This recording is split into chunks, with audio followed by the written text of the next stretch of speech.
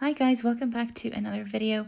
Before I jump into today's tutorial, just wanted to say stay tuned to the end of this video where I will be sharing some information on a fantastic giveaway that some of my YouTube friends and Nail Sugar Ladies are running on their channels. So stay tuned. Okay, so we're jumping into today's video and here we go. I have my little tip all prepped and ready to go. Um, what I'm going to be doing is starting off with some black gel polish. Now, just a little tip for those of you who struggle with black gel polish as it can be a little bit temperamental to use. I would say work in very, very thin layers. Um, so the first layer I put on is almost like a base layer. You will see just how thin it is.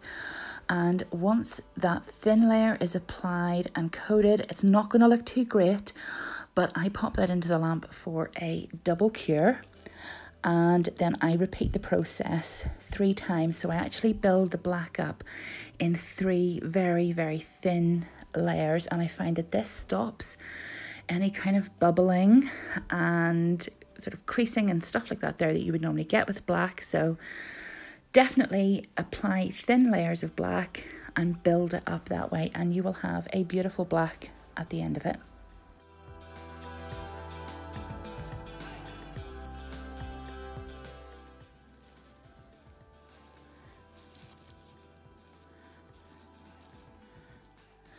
Okay, so now moving on to the next step, I have my little palette and this is the Moyra Stamping Gel Polish, which is fantastic, especially if you love um, stamping with like of pigments and stuff like that there, because obviously it's a curable um, polish, so you do have to cure it. Um, so I'm just putting a couple of drops onto my little palette. Um, I'm working with this today because it has a really tacky finish on it, which is what I want for the pigment. So I'll be using my Nutmeg Detailer brush with um, very, very, very fine nib on it. And just removing the inhibition layer there with some gel cleanser because we want to have a kind of nice matte effect nail ready to go just like that. Um, so we've got all that sort of tacky layer rubbed off so the polish doesn't bleed when we're detailing. So here we go. Um, and all you're going to do is you're just going to um, just freehand some little diamonds down the centre of the nail. Um, this is the third nail that I have actually done this design on, so I did have a couple of practice runs beforehand. And I do find that kind of the thinner that you keep your diamonds, the better that it sort of looks and keep the edges just a little bit more rounded. They don't have to be really sharp because obviously this is a snakeskin effect and it kind of has that sort of more roundy edge to the actual pattern. So once you have your little diamonds down the center, then you can go in and set that with a flash cure.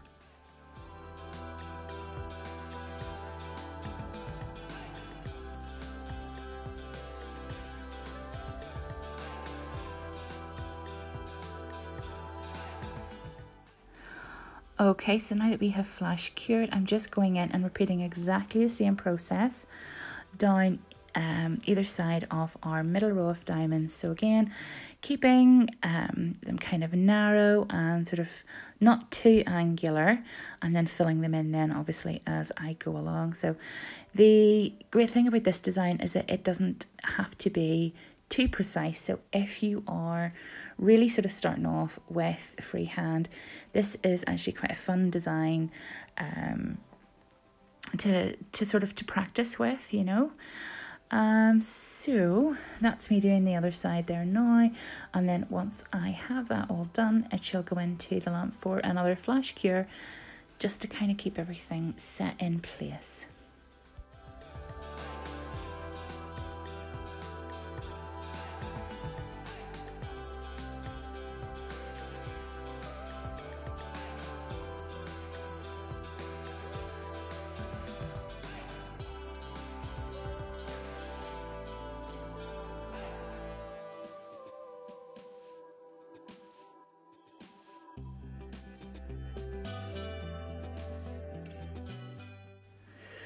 Okay, so moving on to the next bit of the design and this here is literally just adding some wee dots and splodges down the sides of our diamonds to make it a little bit more sort of that snakeskin effect.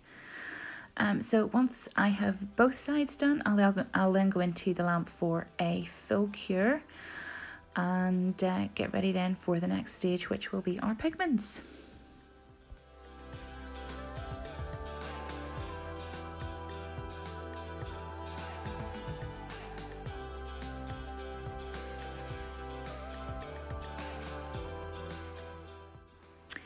Okay, so here we go. I'm working with obviously the neon green and yellow. And um, I will then be using as well too this little brush that I have, which is a great wee brush just for applying some pigments. It's nice and firm and stiff. So um, I'm just dipping into the green and as you can see, I'm just going to press that down the center line of the design because we're sort of aiming for an ombre effect it doesn't have to be too neat so just really press that in. Like I say with this here being the stamping gel polish it has a really tacky layer so once you've gone in with your green then you can dip in into the yellow and do that down both sides.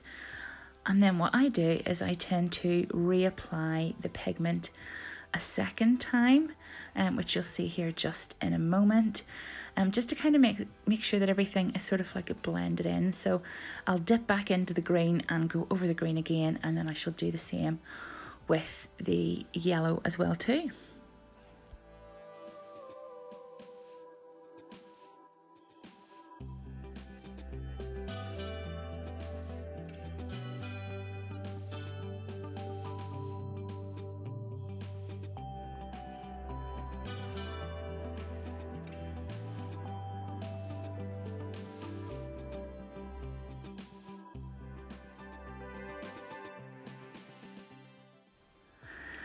Okay, so using a fluffy brush, I'm just going to dust off all that excess very gently and then going in with my Blingline Tack Free top coat. What I'm going to do is I'm going to float a layer of top coat just over the top of the pigments. And what I mean by float is I will sort of load the brush up quite a bit and just very, very, very gently um, pull the top coat down over the design without sort of touching um, the pigment underneath. You don't want to disturb it because obviously it's not set yet. So once you have your top coat floated on, then you just go in for a full cure.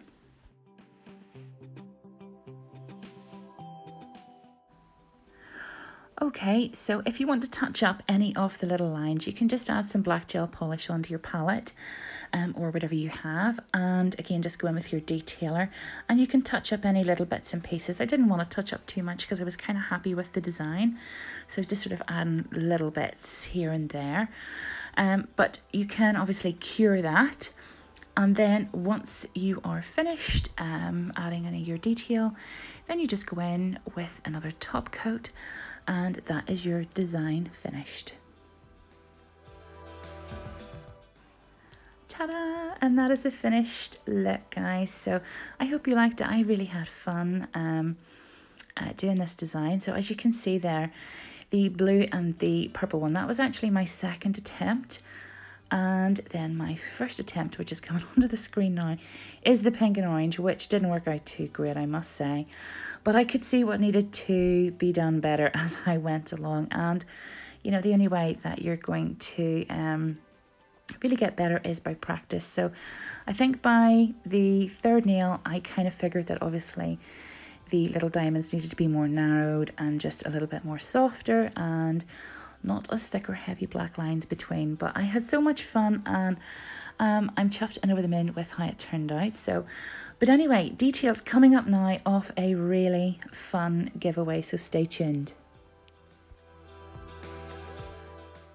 Okay, and here's the giveaway details. This is the huge nail art giveaway collaboration between two of my lovely YouTube buddies and Nail Sugar admin ladies, Kelly and Elaine. Their channels are linked down below where you can find details on how to win this gorgeous drawer box filled full of nail sugar goodies. So go check their channels out. I will see you all again next week and have a wonderful week ahead. Take care and thanks for stopping by. Bye.